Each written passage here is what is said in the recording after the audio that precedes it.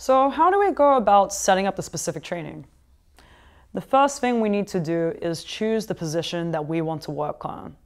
Again, if we're working on trying to pass the De La Riva, let's say that this is our topic of choice. So passing the De La Riva. Generally, how I like to approach this is firstly, we look at things always from the lens of collaboration, collaborative movement. Why? Especially when we're learning jujitsu, to add a lot of resistance in the beginning just doesn't make any sense. We need to understand how to move in relationship to our partner in an unresisted exchange. Now, unresisted doesn't mean that my partner is like a limp noodle because that is also not realistic of what the actual body structure is like.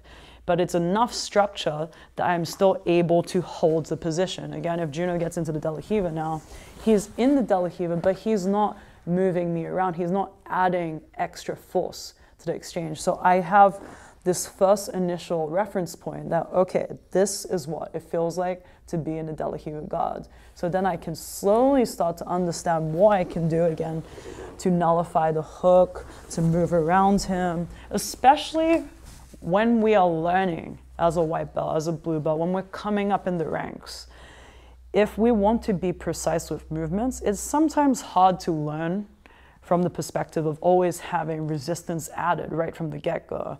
So I recommend that you start from a two to three minute round. You can do this for two free cycles, so two to three rounds of two to three minutes. Film it and just try and move with your partner. So the first exchange, again, using De La Riva as a point of reference, my partner doesn't have to move straight away. I can do a few movements with him to any sort of pass. I reset.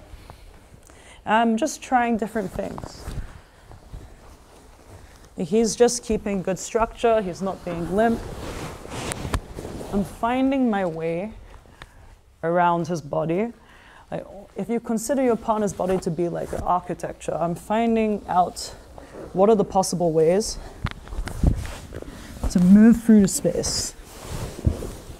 Because there's so many different ways to move.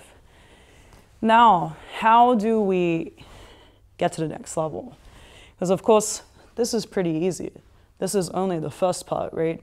We established a dialogue. This is our base point in order to now gain deeper understanding, deeper insights, we have to up the resistance.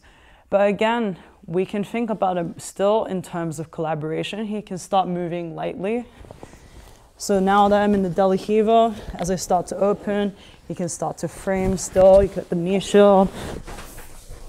So there's just like maybe even like 20, 30% of movement slow movement so you still have time that you don't feel overwhelmed. You're not in a high stress environment because these two things are crucial.